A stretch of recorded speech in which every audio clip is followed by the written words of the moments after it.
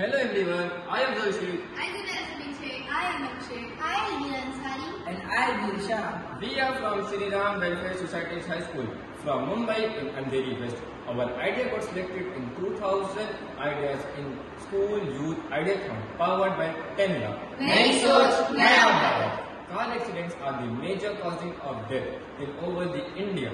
This happened due to human error for example, overspeeding, drunk and drive, not wearing seatbelt while driving, or lack of distraction. This happens because of a small, small error. This human mistakes clearly shows the need for smarter safety solutions. Platforms like School Youth Ideathon inspires young innovators to came up with their practical ideas that that came with a difference on roads. To address this issue, we Smart Safety Alert System, a comprehensive safety module that constantly monitors the driver and the vehicle. It uses sensors and AI detection to identify uh, drunk driving, drowsiness, overspeeding, and even using mobile phones while driving.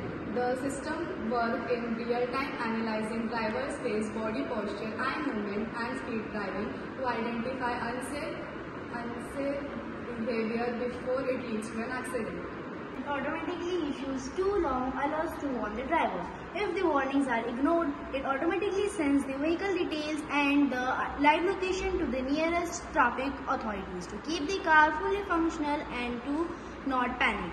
Thank you to our supporters. Your support fuels innovation.